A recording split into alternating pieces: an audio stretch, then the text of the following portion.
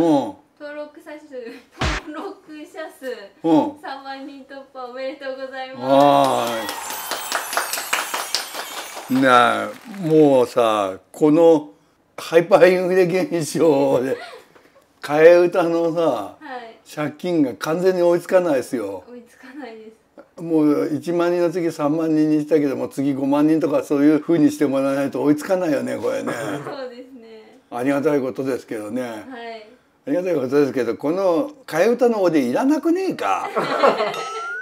え結構コメント欄で。再生回数少なかったよおで見たら。やっぱお礼になってないんじゃないかこれ。えーなってますなってます。嫌がらせになってないですか？大丈夫ですか？大丈夫です。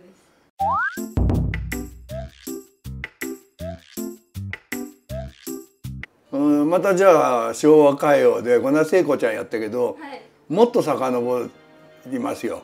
お和田さんはグループサウンズっていう言葉ご存知ですか？わかんないです。わかんないですか？はい。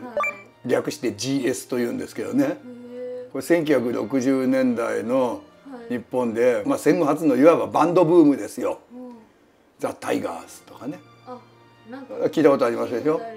ジュリー澤田研二さんがボーカルで、はい。えーベースが岸辺治美さん現在の岸辺一徳さんうんうん。がスパイダース堺正明さんがうんボーカル。田辺エー。ジェンシー社長田辺翔一さんがドラム。あのバンドとか。そういうグループサウンズバンドが山のように出た時代があったんですよ。はい。中で私はザ・タイガースがはい。ジュリーファンで、うーんそうなんですね。はい、ジュリーで一本やりたいぐらいはいジュリーにはうるさい男なんで。はい。なんですけど、はい。もうそのタイガースザ・タイガースの最初と言っていいぐらいのヒット曲としてこの歌があるんですよ。はい、まさに「モナ・リザの微笑み」っていう題名の歌がタイガースであるんですよ。ジュリーの歌を俺が歌うなんて恐れ多くて。あれなんですけれどもあのダ・ヴィンチの気持ちをはい「モナ・リザの微笑み」で歌ってみたいと思います。お願いします。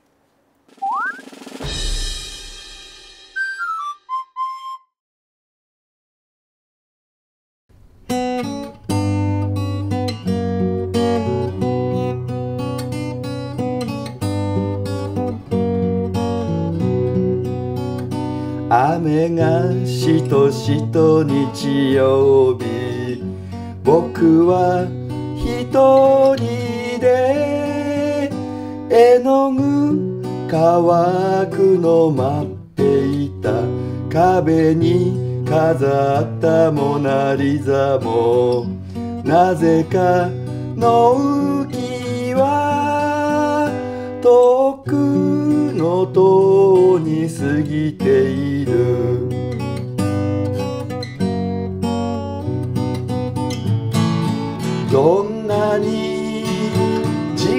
間がかかっていても僕は絵の具を重ねていたい。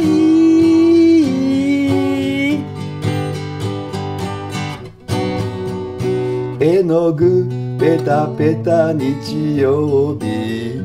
僕はいつで笑顔を描いてる。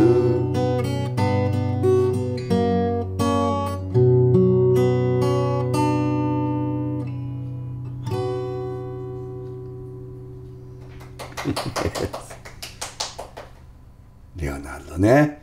絵の具を重ねてはい。細かいグラデーションをつけていく技法なんて言いましたっけ？スフムアートです。スフマートです。なんかお前今いい一個一個余計な音入ったよね。スフマート。です。はい。覚えてください、ありがとうございます